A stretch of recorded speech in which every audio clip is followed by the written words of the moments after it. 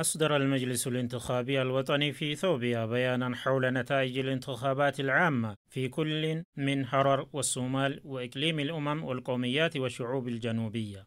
وبحسب البيان الصادر عن المجلس الانتخابي الوطني أن الانتخابات التي أجريت في 20 سبتمبر عام 2014 من بين 6 مليون 562 آلاف و534 ناخبا مسجلا صوت 5 مليون 914 آلاف و670 مواطنا وهذا يدل على أن درجة المشاركين في التصويت بلغت 85% وأعرب المجلس الانتخابي الوطني في إثيوبيا بعد بيان نتيجة الانتخابات عن شكره للمواطنين والحكومات الفيدرالية وحكومات الأقاليم والمنظمات الأمن والمسؤولين الآخرين الذين شاركوا في العملية الانتخابية. وقد أرفق المجلس بجانب البيان إعلان نتائج الانتخابات المحلية التي تمت الموافقة عليها رسمياً. وقال في البيان أنه رغم إجراء المجلس الانتخابي الوطني في إثيوبيا انتخاباته العامة السادسة في 21 يونيو عام 2021 في معظم الأقاليم والدوائر الانتخابية لكن بقيت بعض الأقاليم التي لم تجرى فيها الانتخابات لأسباب مختلفة والتي تم التصويت فيها في 30 من سبتمبر عام 2021 وتجدر الإشارة إلى أنه خلال هذه العملية تم تسجيل الناخبين بين 1 سبتمبر إلى 10 عام 2021 في المناطق التي لم يتم فيها استكمال تسجيل الناخبين. وعليه تم تسجيل 6 مليون 562 آلاف و534 ناخبة باستثناء الاستفتاء للتصويت في الانتخابات 30 سبتمبر عام 2021 في هذه العملية.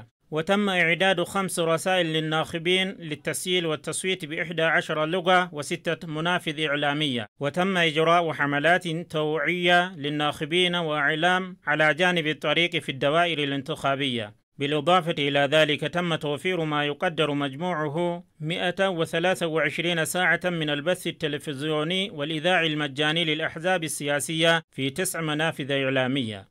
وتم توزيع ثلاث مرات مواد أثاث معدة للتدريب وتسجيل الناخبين والتصويت. وتم أيضا توزيع 9874 صندوق اقتراع. وتبعت أوراق الاقتراع في الخارج ووصلت إلى مراكز الاقتراع دون أي مشاكل لوجستية. كما تم نشر ما يبلغ عددهم 21198 من المدراء التنفيذيين لإجراء عملية تسجيل الناخبين والتصويت وتلقوا دورتين من التدريب. وأعد ما يقرب مجموعه 5935 محطة اقتراع باستثناء الاقتراع الشعبي في 47 دائرة و106 دائرة انتخابية وراقب العملية عدد يبلغ 2569 مراقبا من المجتمع المدني ومن 11 منظمة. وبعد إعلان النتائج في كل دائرة انتخابية كان مركز التحقق من النتائج التابع لمجلس الإدارة يعمل أيضا على التحقق من النتائج وفقا للقانون. وفي هذه العملية تمت إحالة الأحزاب والمرشحين إلى مجلس الإدارة إذا كانت لديهم أي شكاوى أثناء العملية الانتخابية حيث قام ستة أحزاب